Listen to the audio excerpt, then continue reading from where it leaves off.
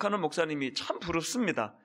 지금 여러분 우리 주변에서 일어나는 일들을 보면은 인생이 그 끝이 아름답기가 이게 얼마나 어려운가를 뼈저리게 지금 느끼고 있는 거 아닙니까?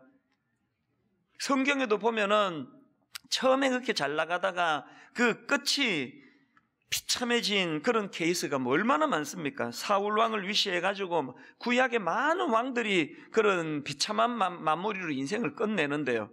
그 우시아 왕은 그렇게 하나님께 인정받고 충성하다가 마지막에 그만 교만해져 가지고 그 저주를 받아 인생을 끝내는 그런 케이스도 있지 않습니까? 그렇기 때문에 우리 모두가 다 하나님 앞에 아버지 우리는 이 야곱처럼 처음보다는 갈수록 더 좋아지는 인생 그리고 요셉처럼 처음에는 고난이 많았지만 참 마무리가 너무나 아름다운 인생이 되기를 원합니다. 지금부터 그런 기도를 드려야 한다고 생각합니다.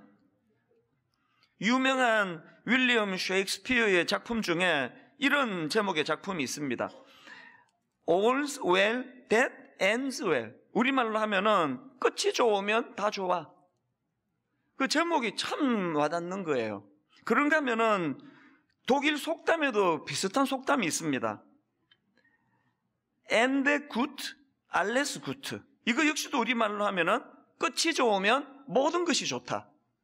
그 제가 이런 것들을 쭉 살펴보면서 무슨 도전이 생기는가 하면은 뭐 저나 여러분이 지금 나이가 몇 살인지도 중요하지 않고요. 뭐 이전에 얼마나 철딱서니가 없고 뭐 실수가 많았고 이것도 중요하지 않고요. 지금부터 이제 우리가 인생의 후반전 남은 인생을 잘 살아나가면 끝이 좋으면 모든 게 좋다.